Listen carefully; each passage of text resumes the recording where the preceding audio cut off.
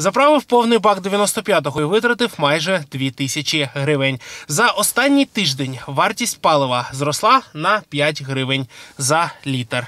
Тож вже сьогодні, заїхавши на заправку, можна побачити, що цінники сягають 40 гривень. У чому причина такого здорожчання та до чого готуватись? Давайте розбиратись разом.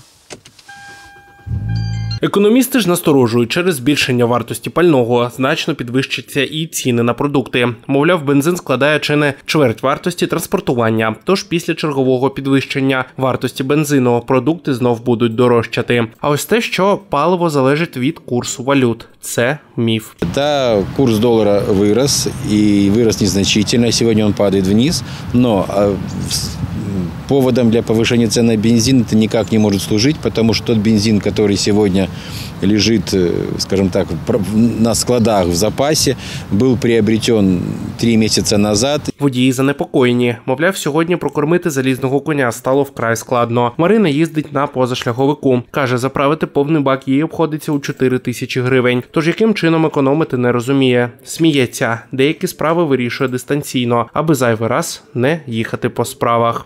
Топливе, а как на нем сэкономить? На 2 гривны за последнюю неделю подорожало. Конечно, ощутимее. Уже больше 92 бензин больше 1 евро. Такой цены вообще нигде нету.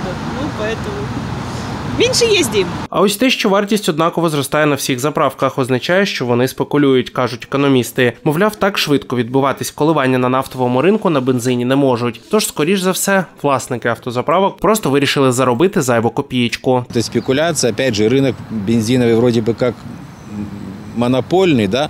Мы знаем, что есть много поставщиков, много различных сетей, но они всегда умеют очень красиво и плавно между собой договариваться, что антимонопольный комитет как бы там руками не размахивал, не пытался их наказать. Мы не слышим каких-то громких дел. Тим часом нафтовий ринок сягнув чергового максимуму. Барель нафти коштував майже 100 доларів. Тож ціни на бензин у майбутньому продовжуватимуть зростати. Тож готуйтесь.